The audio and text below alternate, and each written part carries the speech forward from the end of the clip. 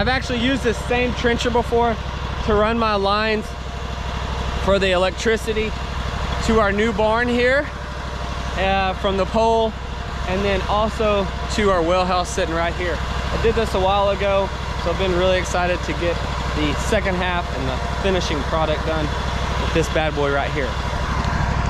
Okay, so here's here's one of the old existing lines, the one inch that comes right in here. Get off here, we're gonna 90. We're gonna go down. This will have to be covered, obviously, because of cold weather. Go down and we're gonna start trenching and I'll stop along the way. We're gonna put a line here.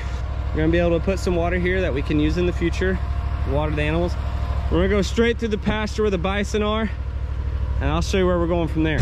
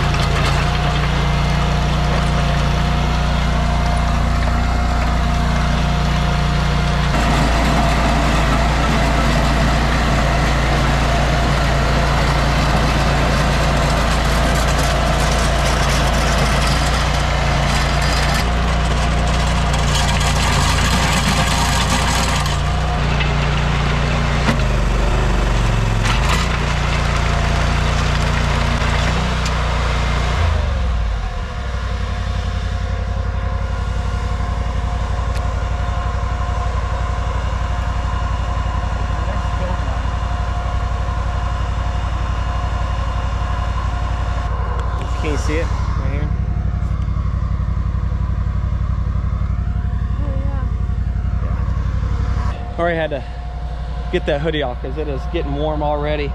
But I ran into, uh, here's the old line. It's like a one inch line. Got, got some pieces of it. And now I think I've basically got off of it. Um, it's running here to the left. But I mean, this is what I'm gonna deal with.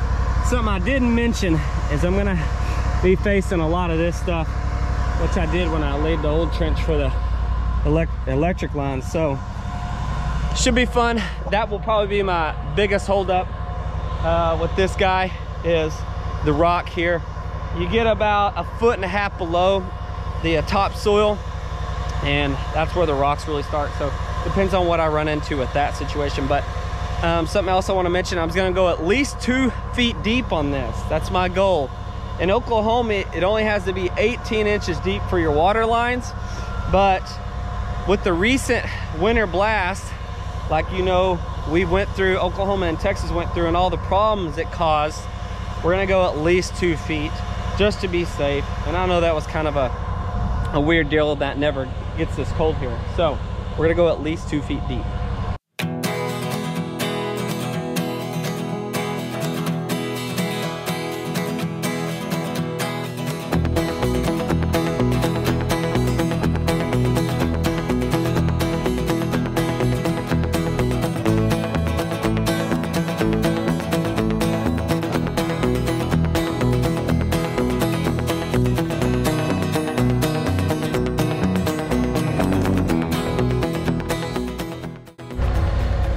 So got our main line coming right through here.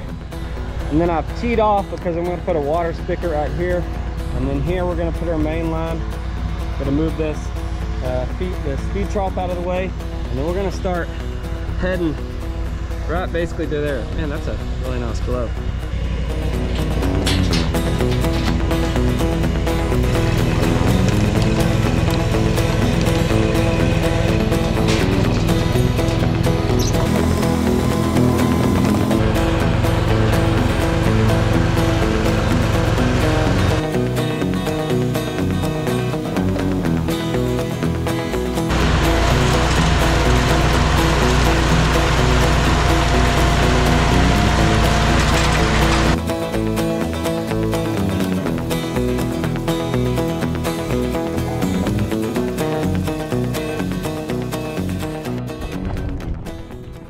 Well, while I'm trenching out here, Kevin and I put some field fence up on this stretch right here. A long time ago, was one of our first cross fences to create this lot right here. It was the lot where I actually put Dunbar's toy. Uh, he hasn't been in this lot in a long time, but um, we haven't had any animals in this lot in a while, and we put our ranch uh, or a field fence up uh, that we could use as a calf uh, weaning lot calves have been in here. Um, you know, I lost one heifer. And anyways, I've got two calves and I've got Eleanor, oh lovely sweet Eleanor in here right now. And so what I'm gonna do is you gotta, when you wean them, you gotta be in something solid like this for a while because those calves, they're, they're gonna wanna get out. They get, they get stressed out some. Of course, that's why they have to be together. But they uh, gotta have something solid for these calves. But now uh, I'm gonna let them out here because we do have this field fence where they can't get out. Barbed wire, it's not safe to, to keep the calves in um, because they're gonna wanna get out in the, with the herd, which is way out there, um, and, and, try to get back out to mama. So that's why we keep them in something solid like this. But now it's time to get them out and there's some green grass here starting to pop up after the warm weather we have. So I'm gonna let them out here and let them run around. So it's a good chance they could get pretty excited.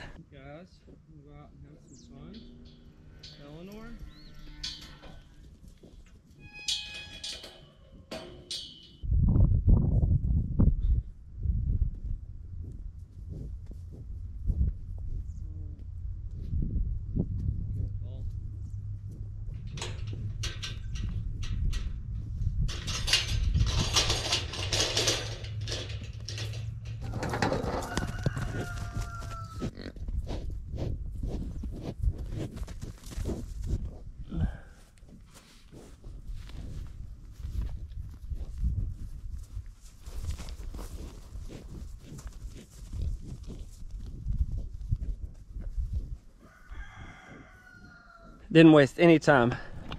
Found what they missed and that's green grass. They love it. Oh, there he is. Mm. I knew there'd be some excitement.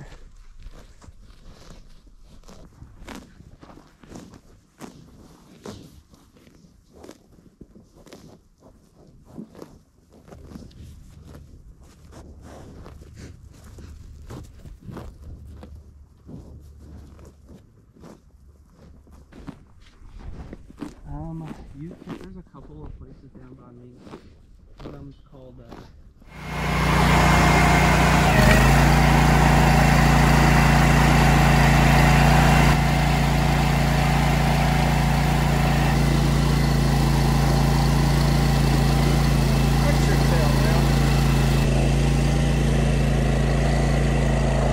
I'm down here in the bottom pasture. You may have recognized the piles here.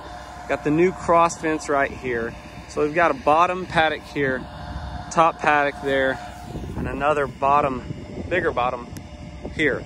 These old terraces on these farms, these old pasture lands, I may use it to my advantage here because wherever we put this water trough or these tire tanks, I want it on a hill so that if water does run off, if the bison, you know, come up to drink it and they make a mess, whatever, the water's gonna run off down the hill. I think that's important. You don't want to build one of these tire tanks down below like where the water, you can see where the old water line sits down here in this dark area. and then it wraps around and there's a pond sitting right in there. So that water, when it rains and it comes off the hill, that watershed, it sits right here. We don't want the bison to get in that and trample it and stomp it really good. So I think we're gonna put our tire tank right here on the hill on this old terrace mound that runs right through here and you can kind of see it. So we're gonna use this to our advantage. We're also gonna put rock around our tire tank. So right here, we'll probably take the T-post out. I set a pipe here and set a pipe here and we'll put a bar across it just to keep the bison out of the water tanks and not damaging the products or the stuff inside the pipe inside. I'll talk about that stuff later when we start installing the tire tanks. So right here, I'm gonna trench this out some because I'm gonna lay my tire sort of down in the earth a little bit into the ground. And then I'm gonna trench just to the side of that pile all the way back up to the top.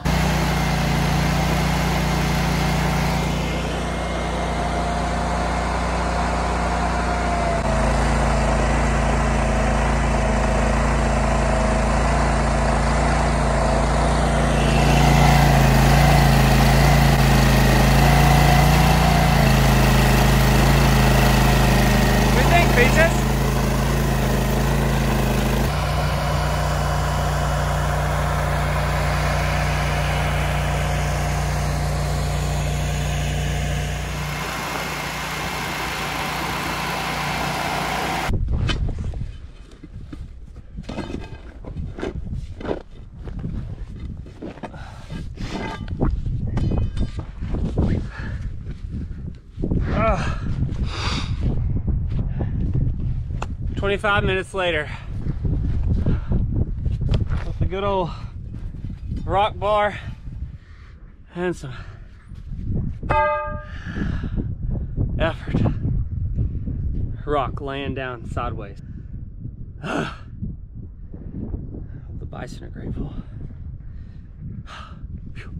Just about done trenching, but I just want to show you guys what I'm dealing with. It's kind of a low bottom where I built my new fence right here. But I mean, look at that. I'm not even a foot deep here. I am there, but right here. You're going, well, golly, Dusty, that ain't very deep. You're right, it's not.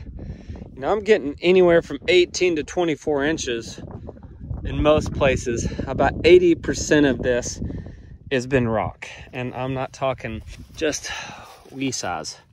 I'm talking, and this doesn't even do scale justice on here. But rocks, lots of rocks. And this was slow. This really slows Kevin and I down. And there's a bunch of these little size guys. see how big it is fitting in my hand. Then you take something like this. Yeah, I'm not even gonna try to lift that. That we're fighting against through here. All for a good reason. But still, this has been a pain in the you know what. Uh, it sucks. It just, it flat out sucks. I, I don't know another way to put it. There's no other way to put this.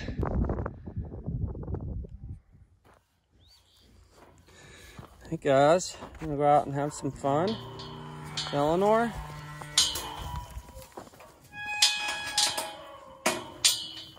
Hey, silly. You're on the wrong side. Come on.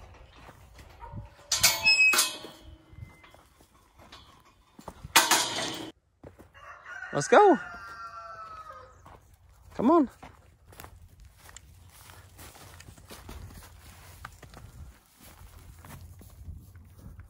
Oh, you goofball.